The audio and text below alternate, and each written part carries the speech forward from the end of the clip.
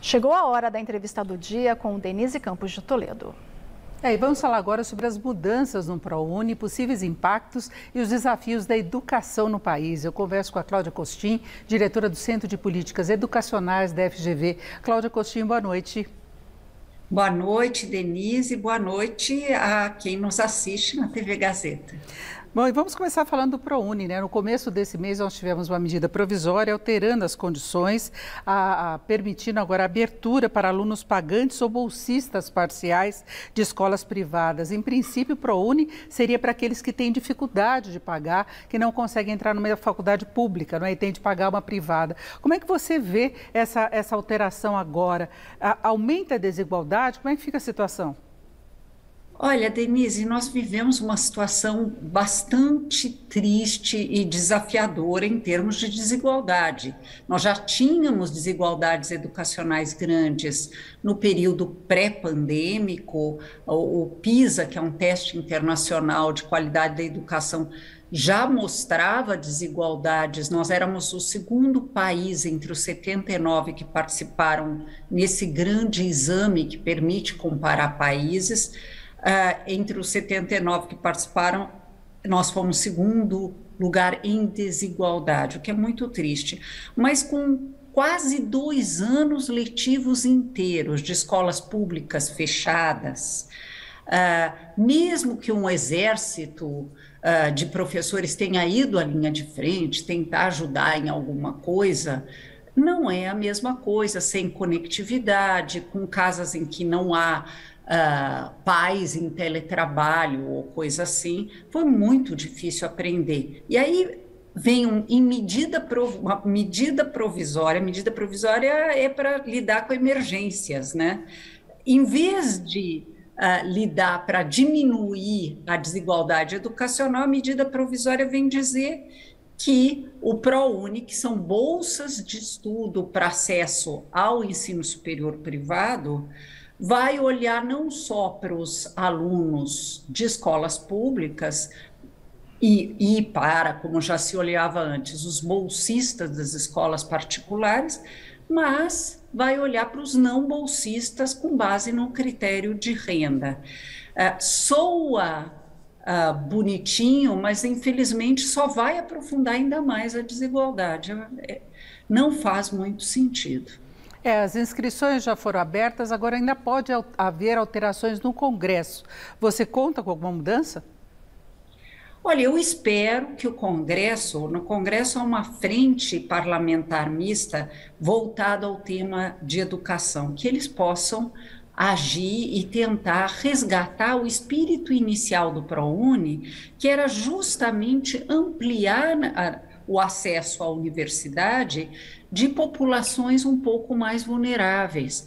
Uh, elas estão, se a gente pensar, Denise, que 81% dos alunos brasileiros estudam em escola pública e, portanto, menos de 20% em escolas particulares, e mesmo assim há incentivos para a escola particular dar bolsas, então Trata-se de um grupo, os que não têm bolsa estão em escolas particulares, trata-se de um grupo muito pequeno uh, e nós vamos favorecer a esse grupo no momento de dar bolsa de estudos, depois dessa desigualdade que se aprofundou tanto, não me parece fazer muito sentido. Parece mais atender a um certo lobby de associações mantenedoras de ensino superior privado. Né, é, que, porque que os recursos vão direto do governo para essas faculdades, para essas entidades. Né? Para essas faculdades, vão direto para essa, essas faculdades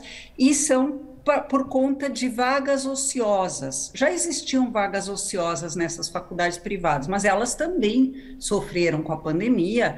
Uh, infelizmente, uh, a crise econômica afetou a todos. Mas se nós lembrarmos que nesse último Enem, foi quando elas foram procurar o ministro, nesse último Enem foi a mais baixa taxa de inscrição de alunos do Enem. Então, eles perceberam que iam ter uma diminuição no número de, de bolsistas, né, que, são, que, que, que, que vão ter acesso a essas escolas.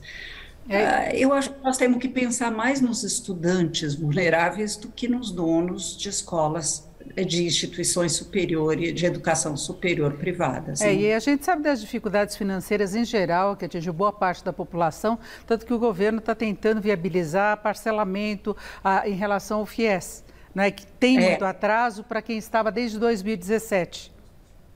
Sem dúvida, está tá sendo desafiador pagar o financiamento do FIES é, é importante, isso precisa ser pago, mas parcelar em mais vezes, atenuar as prestações, faz muito sentido, sim. Agora, Cláudia Costi, nós estamos chegando ao final do ano, segundo ano de pandemia, com aulas irregulares, uma jornada muito menor, né? essas dificuldades que você colocou também do ensino online. Já dá para fazer alguma avaliação? Como é que fica a situação dos estudantes, desde o básico, não é, da, da alfabetização mesmo, o atraso que se pode ter daqui para frente? Olha, infelizmente nós fomos muito afetados pela pandemia e pela condução equivocada da pandemia, inclusive no sentido educacional. Durante muito tempo, o MEC achou que não é tarefa deles a coordenar a resposta educacional à Covid, como fizeram outros países, inclusive outras repúblicas federativas. Uh, nessa circunstância, uh, se a gente pensar nos alunos de escolas públicas, são dois anos letivos inteiros, quase, sem aulas.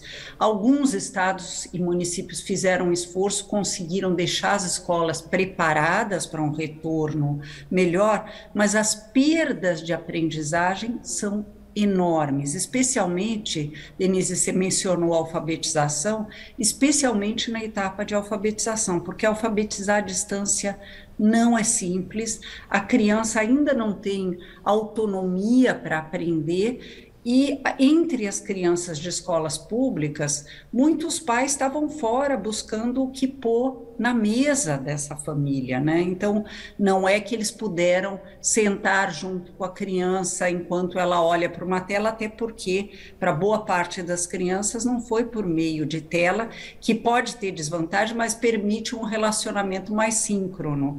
Eram cadernos que eram enviados para as casas, a criança preenchia, a mãe levava até a escola, a escola entregava para o professor três semanas depois isso voltava corrigido. Não, não, não foi simples, vai ser fundamental ter boas políticas públicas para recuperar, para resgatar essas aprendizagens perdidas, e não vai ser só num ano que nós vamos fazer, recuperar isso.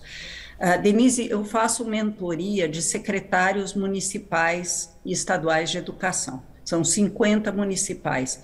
E eles todos estão falando de alunos de quarto ano analfabetos. É muito triste isso. É inacreditável. Agora, as provas. Não quer. É. Eu estava falando, provas de avaliação estão sendo realizadas. A partir daí, pode haver um trabalho mais específico de recuperação? Pode sim, pode sim.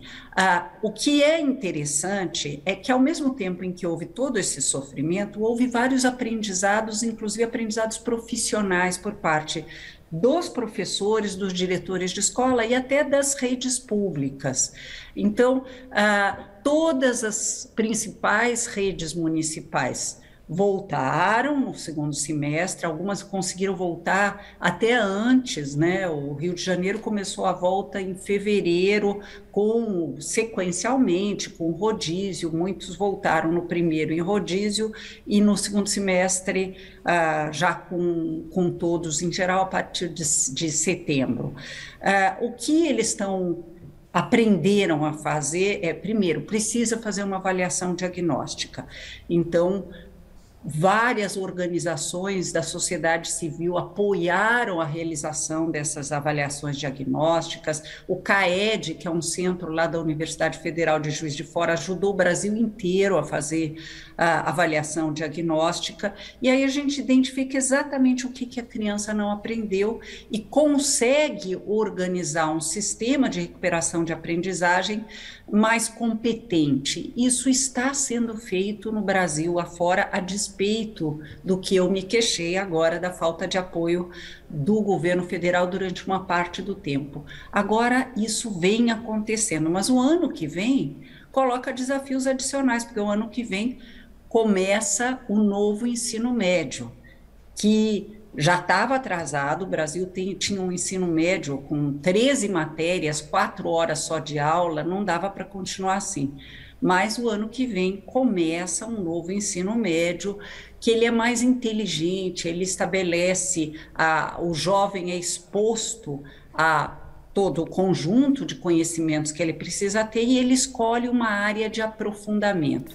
Para o ano que vai ser só o primeiro ano do ensino médio que, em que a transformação começa, mas já é um bom um bom desafio, um desafio do bem. Sem dúvida. É isso, ouvimos a Cláudia Costin, que é diretora do Centro de Políticas Educacionais da FGV. Cláudia, muito obrigada, uma boa noite. Boa noite, um prazer falar com vocês. Com vocês.